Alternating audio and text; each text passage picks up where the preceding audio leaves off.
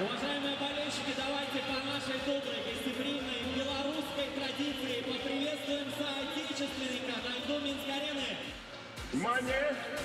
После видеопросмотра определено, Сайба не пересекла линию ворот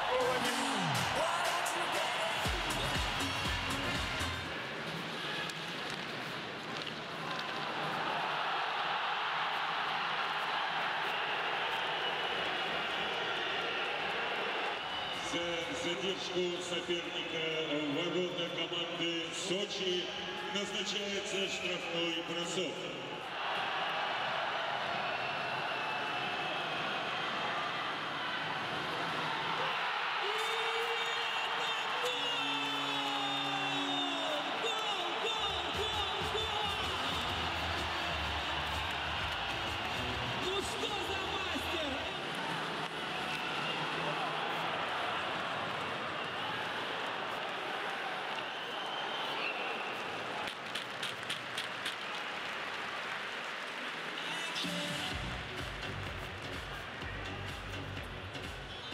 У нас новая фан-камера, поэтому, уважаемые...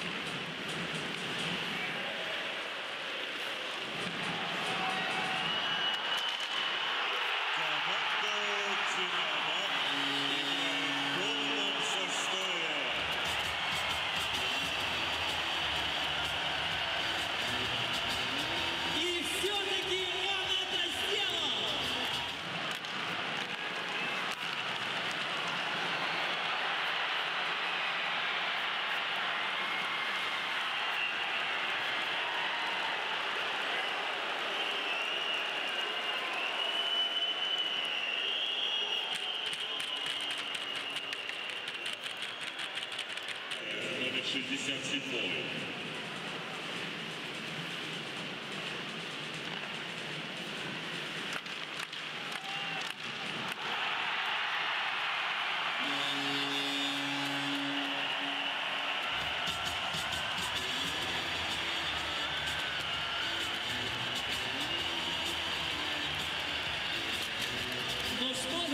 сегодня.